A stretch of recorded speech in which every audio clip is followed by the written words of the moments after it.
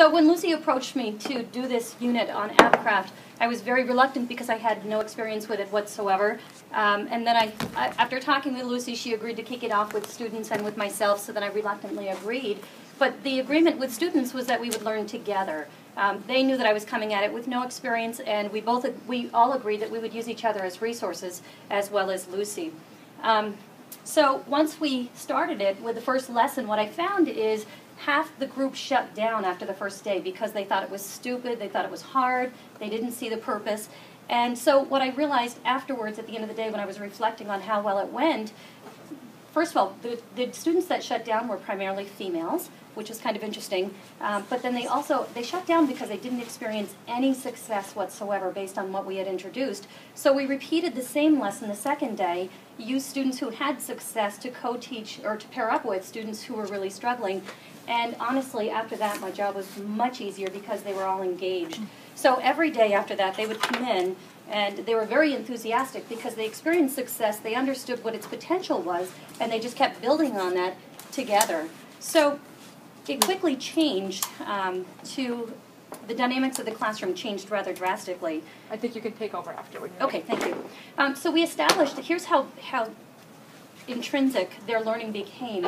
We established last Friday as a deadline. Well, let me go back a little bit further. April vacation. I've never received so many emails from students saying, Can you help me figure this out? Or do you know if John has the script for this? Or I saw Rebecca's script and it looked similar to what I want to do. We were all just bouncing off each other script and sharing ideas because we were the only resource that we knew of. So during the April vacation, they were creating games, which I thought was pretty fascinating.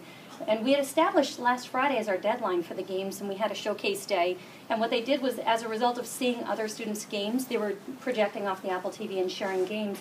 As a result, they spent the weekend tweaking their games to make them that much better. So when I came in last Monday anticipating that we were going to be moving on to new concepts, the lesson plan was just thrown out the window because the enthusiasm was so high for them to want to share and showcase what they completed over the weekend that we decided to turn it into our last showcase day. Um, so we had to revisit our plan as a result. So I'm just going to show you a couple of games that they created. Learned how to apply physics and gravity. They learned x and y values and how to plot those x and y values. Um, they learned cause and effect.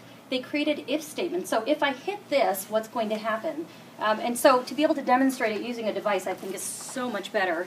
Um, hopefully it'll work. So this is a game that a student created and tapping play actually takes you into game mode, and she's established gravity where the goal is to eat the cupcakes. And there's different levels, so I don't know if, because I missed that other cupcake what's going to happen, but I'm going to come down here. And notice it's working with a sensor of her uh, iPad. So tipping the iPad is, is the object, and she's got several levels on here that she's created. This is very complex. I think even for a seventh grade student, this is extremely complex, but they were so into it that they spent hours upon hours. Now this one, the object is to collect keys to unlock passageways to the next level. And what they don't realize is that they're programming. Right.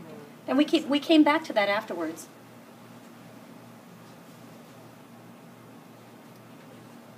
So then she built in two other screens to play again our main menu. So that's just one example. I have many. This is the free version of AppCraft. One of the downsides is that you do get their, I call them Japanese commercials. um, you do get their pop-up ads often. Uh, let's see. This one had a similar concept. Um,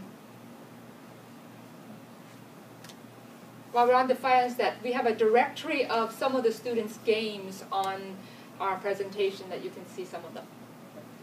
So again, this one's pretty easy to do. Well, I should say that. I shouldn't say that because watch me fail.